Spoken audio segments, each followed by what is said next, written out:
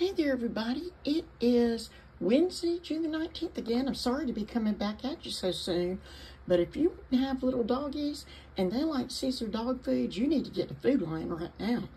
They have recently rolled these back to $1.39 per tray. And if you clip the in-app coupon from the Food Lion app itself, you will go ahead and get $4 off of these. Let me show you right here okay? And I'm telling you this, I've already used this deal, so I've already tried it out, okay? So get six at $1.39 each, which is $8.34 total. I had the $4 in-app coupon come off, so that brought it down to $4.34 with South Carolina tax, that was 67 cents, leaving us to pay $5.01. $4 has already been validated and sent back from ShopMium.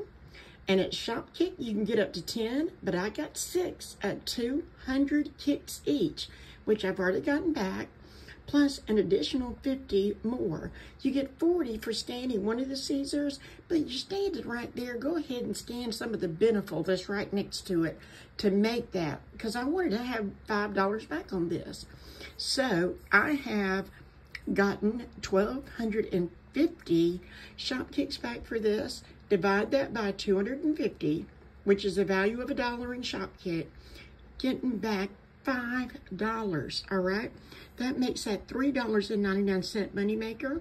Yes, it's an Ibotta, but you know how it is. Sometimes it works, sometimes it doesn't. But this expressly says that it is not going to um, work with any kind of sales or coupons. But Food Lion is one of those that we can't submit it anyway. The company submits it because we have linked our account. So don't forget to do that. So if it gives us an additional $3 back, that's fantastic. If it doesn't, it's still a great money maker. And guess what? It's also in Swagbucks. Um, you have to buy, buy five to get that back. And I may or may not get that back, but I did put it in there. So this has got to be, uh, has the potential of being like a 10 or $11 money maker. Right now, I'm very happy with my $3.99. And if I get more, that's great. If I don't, we're good to go. Thank you for liking, watching, subscribing, telling somebody um, about me.